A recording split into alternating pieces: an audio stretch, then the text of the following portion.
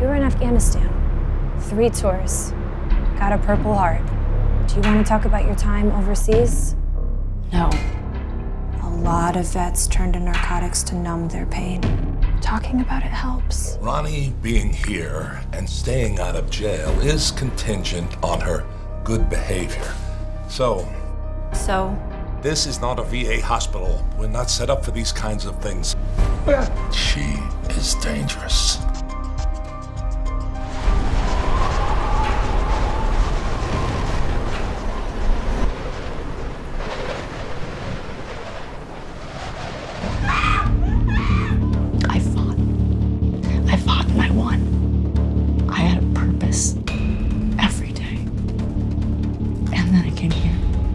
And what's here?